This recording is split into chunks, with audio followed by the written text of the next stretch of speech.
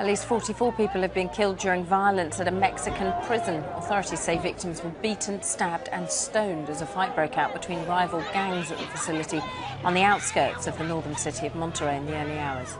The prison has now been secured and an investigation is underway.